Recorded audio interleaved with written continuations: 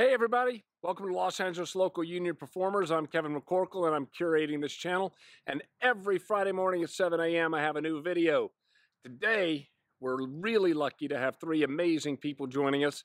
First off, we're going to start off with Elliott Gould. He's going to share some words of wisdom about the Union and a poem. And then uh, Rob Schneider is going to introduce Olga Wilhelmine about money that you can get. So don't go away. Lots of good stuff follows. Share and subscribe, and I'll see you next time. This is for Los Angeles local union performers. I'm one of us. Um, I'm a member in, of good standing with the union. I'm totally grateful and appreciative of what our union does and is. And that's what I'm doing here. It's the only entity that had ever appropriated anything uh, for my family and me in terms of the uh, pensions and the uh, medical plans. Um, being an actor, uh, I myself, I'm a child at heart and uh, always uh, loving to play. So in other times, the actors would be called the players. And I really appreciate the players. It moves me a lot.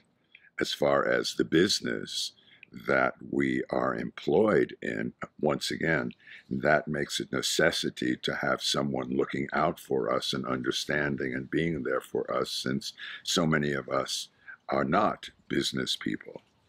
So as then when people talk to me, because it's rather political, I'm not, but I'm studying it, I, I need to understand that there are differences uh, for us and that the status of our union, which is so essential to us uh, in a world and even uh, a country, a portion of a country that is anti-union, that we have to protect our union uh, and really support our union. Therefore, we have to understand what it is that we're doing and where we are. So uh, making a, a, living as an actor in this world is uh, rather daunting. Uh, I've worked for a very long time.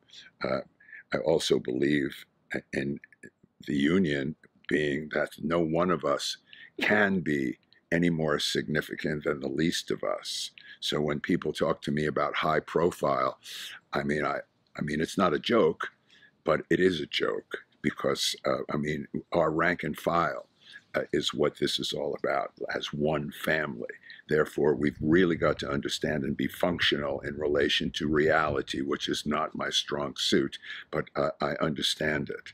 So for any of us, I, I, I wanted to uh, contribute uh, some something, a poem that I found, where baseball uh, is uh, the the medium, is the metaphor, but it's about life, and it's called "Run It Out." We'll see if I can uh, remember it. It goes, "When you once have hit the ball, run it out.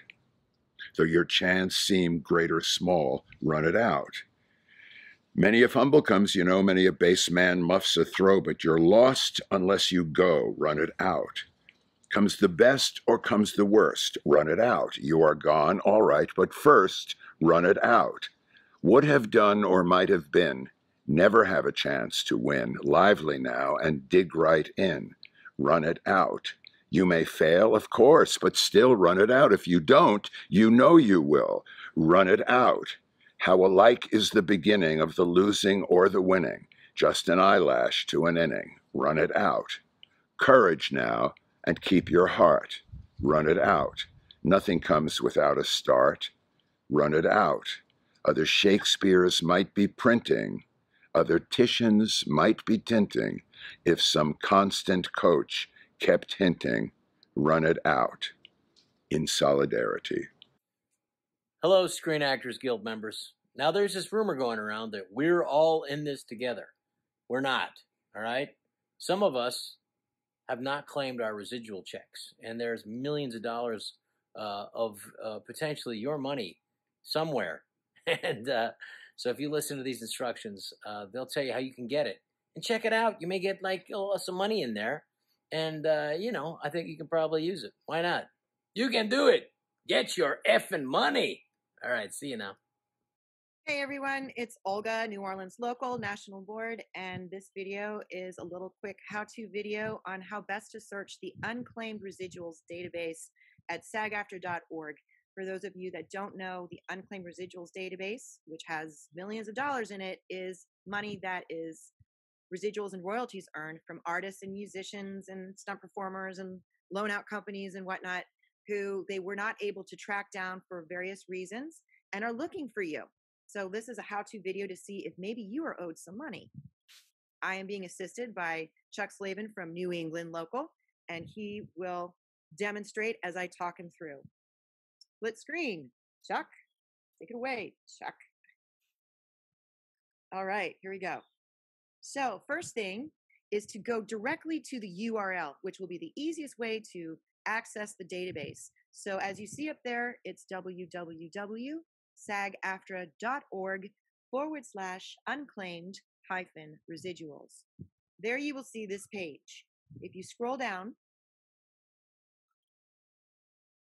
they will give you a little bit of advice and guidance and also what to do if you do find yourself. And we will be posting that information also later. So the best way to search is to do a last name search. So let's start with the last name Garland.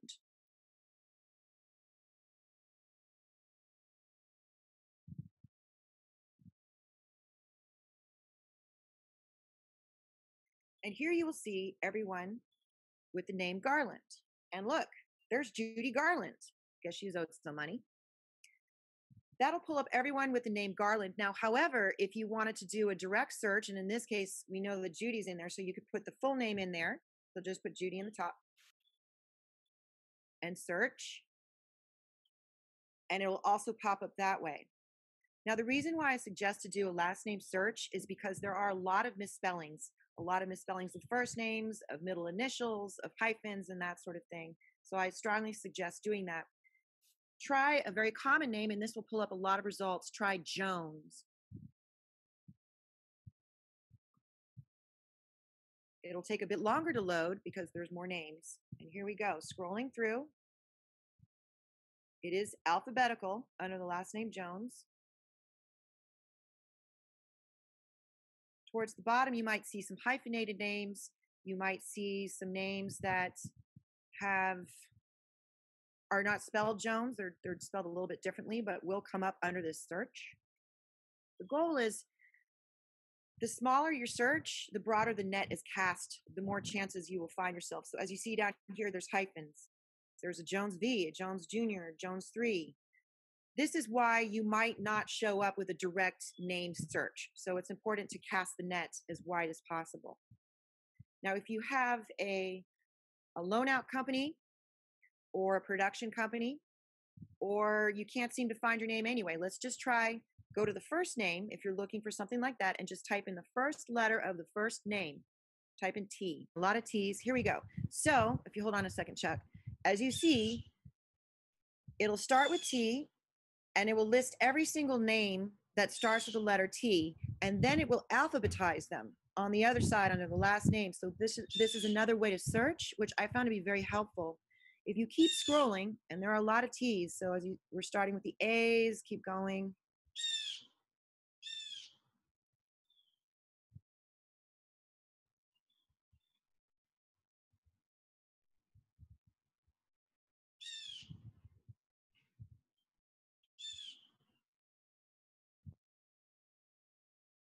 and you're only in the B's. That's why I'm saying there's a lot. So this way you're casting the net really, really wide in case there is a misspelling, in case they're using initials, in case they put your middle name as your last name hyphenated, in case, in case, in case. There's a lot of things as you will see if you start doing these searches yourself, you'll see.